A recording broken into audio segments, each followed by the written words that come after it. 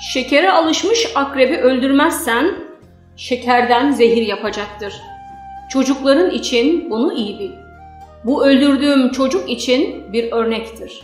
Her yaz bahçelerde binlerce akrep öldürülecektir. Geziye çıkan çocuklar için gün görmemiş menekşeler dirilecektir. Baharı gecikmiş kentler için Kurban Bayramı'nda ortalık ışımadan uyanılır.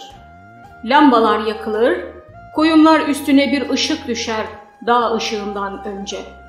Kurban bıçak sesini duyar horoz sesinden önce. Saatlerini çabuk tüket ey ulu gece. Kurban bayramıdır en derin bayram bence. Bu ne uslu yumuşak yaratıklardır ki kilometrelerce, günlerce yolu aşarlar, sabah kuşluk, öyle ikindi ve çöldedirler akşamları ve sonra yorgun doldururlar çarşıları ve top patlamadan önce her biri başları gün doğusuna dönük bir evin önündedir, çocukların önündedir.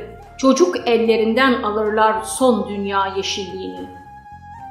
Bir bengüsü gibi içerler son sularını. Saatlerini çabuk tüket ey kutlu gece.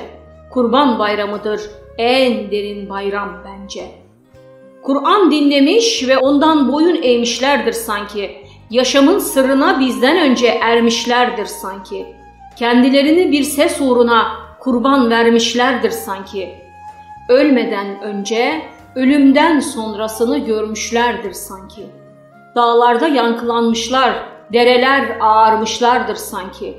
Düşlerinde Mekke'ye varmışlardır sanki. Saatlerini çabuk tüket, aynı ve yıldızlarını yak bu gece. Bizim kalbimizde kurbanlar kesilmeden önce. Sezai Karakoç